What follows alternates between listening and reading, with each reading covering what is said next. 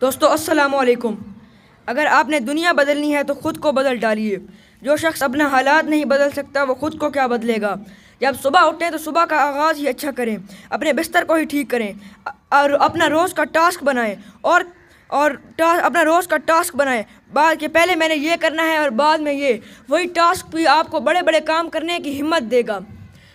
आप जब भी किसी से मिले तो खुश खुश अंदाज से मिले, ताकि वो भी आपको इज़्ज़त दें। आप बड़े बड़े दरख्त लगाएँ, जिसकी छाँव में भी आप ना बैठ सकें, रोज़ फतह के झंडे गाड़ें और ऐसे बड़े बड़े कुएँ खोदें।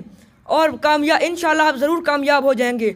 अब अपने माहौल को बदलें, आप अपने, अगर आप आज गरीब हैं तो आप कल, आप ऐसा माहौल अपने अंदर डालें, आप ऐसे माहौल में रहें कि आप कल अमीर हो जाएँ। आप आए, अगर आप नाकाम हैं तो आप अपने ऐसे माहौल में रहें कि आप खुद कामयाब हो जाएँ। अगर आप अपने माहौल को बदलेंगे तो तकदीर खुद ही बदल जाएगी। शुक्रिया।